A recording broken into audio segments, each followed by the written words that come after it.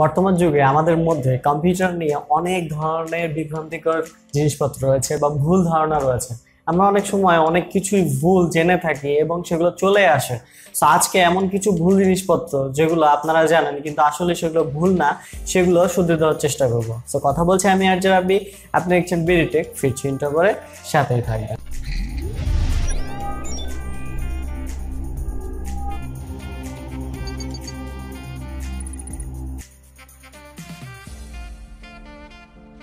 আমাদেরকে সবসময় বলা হয়ে থাকে যে আমরা যখন কম্পিউটারে কোনো একটা সফটওয়্যার ইনস্টল করি বা প্রোগ্রাম ইনস্টল করা হয় কম্পিউটারে, তখন ইনস্টল করার পরে মাস্ট বি কম্পিউটারটা রিস্টার্ট করতে হবে। যদি কাউকে বলা হয় যে তুমি কি কম্পিউটার রিস্টার্ট করেছ, তখন সে বলে, আমি সফটওয়্যার ইনস্টল করার পরে কম্পিউটার রিস্টার্ট করিনি, এখন আমার কি হবে? আসলেই প্রায় নাইনটি ফাইভ পার্সেন্ট সময় কোনো প্রবলেম হয় না। কেননা, যখন আপনি একটি সফটওয়্যার ইনস্টল করেন, বেশিরভাগ সময় রিস্টার্ট রিকোয়ার চায় যে আমার রিস্টার্ট লাগবে কম্পিউটার নিজে মেসেজ শো করে। কিন্তু যখনই মেসেজ শো করে, আপনি যদি সেটা ইগনোর করেন এবং পরবর্তীতে যে সফটওয়্যারটা ইনস্টল করেছেন, সেটাতে কাজ করেন, সেটি প্রপারলি কাজ করবে, কোনো প্রবলেম হবে না।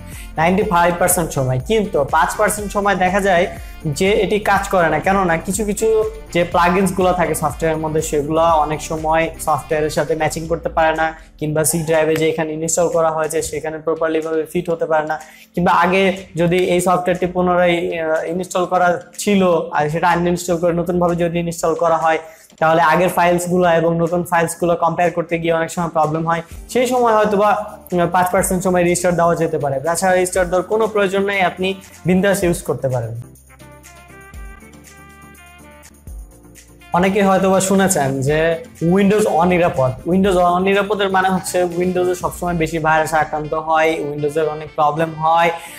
উইন্ডোজে অনেক কিছু মানে উইন্ডোজে একদমই খারাপ অপারেটিং সিস্টেমের ইউজ করা যাবে না। অনেক সময় এটি অনেকে মনে করে থাকে শুধুমাত্র ভাইরাসের জন্য।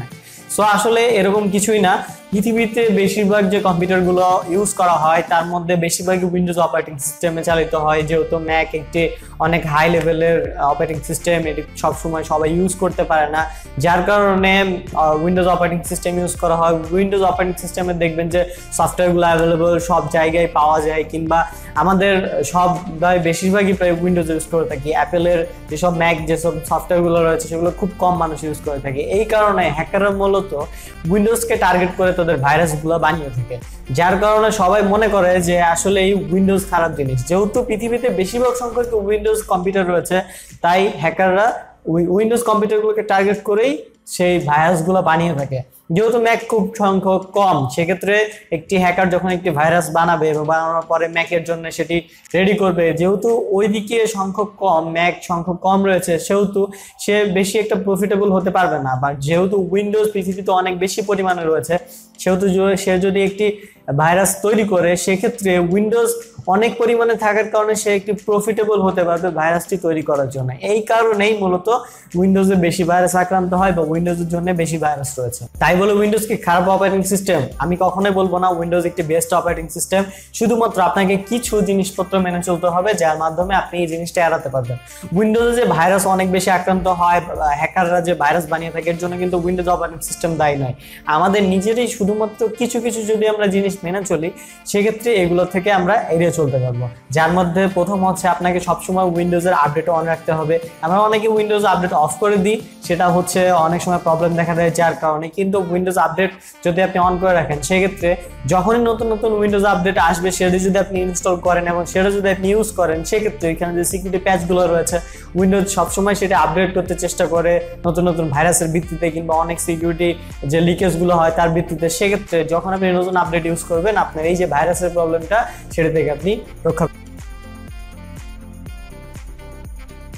সেফটি এক্সিট পেন ড্রাইভ আমরা সবাই অনেক সময় মনে করে থাকি যে যদি ভুলক্রমে কখনো আমাদের কম্পিউটার থেকে যদি আমরা পেন ড্রাইভ কিংবা মেমোরি কার্ড লাগানো থাকে, ভুলক্রমে যদি সেটা বের করে ফেলি সেফটি এক্সিট পেন ড্রাইভ যে অপশনটি থাকে, সেটি যদি এক্সিট না করে, তাহলে আমাদের পেন ড্রাইভ কিংবা মেমোরি কার্ডটি নষ্ট হয়ে যেতে পারে অথবা ব্লাস্ট হয়ে যেতে পারে। আমি আজ পর্যন্ত কম করে হলেও শত মানুষকে বুঝিয়েছি যে আসলে এটি কখনোই পসিবল না, এটি ভুল ধারণা। মানুষের, এটি আসলে কখনোই কোনো প্রবলেম করবে না। আপনি যদি টান দিয়ে বের করে ফেলেন, আপনি নিশ্চিন্তে আপনার পেন ড্রাইভ কম্পিউটার থেকে টান দিয়ে বের করতে পারেন মেমোরি কার্ড বের করতে পারেন। এটি কখনোই কোনো ডাটা নষ্ট হবে না কিংবা পেন ড্রাইভও ব্লাস্ট কিংবা নষ্ট হবে না। কিছু কিছু সময় দেখা যায় যে এটি প্রবলেম হয়। প্রায় নাইনটি সময় কোনো প্রবলেম নেই জাস্ট এক পার্সেন্ট সময় প্রবলেম আছে এবং এটি কিছু কিছু আপনার নিজের ভুলের কারণে। সেই যে কি ভুলগুলো সেটি আমি এখন বলে দিচ্ছি। ভুলগুলোর মধ্যে রয়েছে, মনে করেন যে আপনি আপনার পেন ড্রাইভ আপনার কম্পিউটারে লাগিয়ে রেখেছেন এবং সেখান থেকে কোনো একটি ফাইল আপনার কম্পিউটার ট্রান্সফার করতেছেন। জাস্ট কপি করে আপনার সি অথবা ডি ড্রাইভে কম্পিউটার ড্রাইভে ফাইলটি ট্রান্সফার করতেছেন পেন ড্রাইভ থেকে। সেই সময় কপি হওয়া চলতেছে। রানিং অবস্থায় যদি আপনি পেন ড্রাইভটা কম্পিউটার থেকে টান দিয়ে বের করে ফেলেন, সেক্ষেত্রে আপনার পেন ড্রাইভের ডাটাটি নষ্ট হতে পারে বা পেন ড্রাইভের প্রবলেম হতে পারে।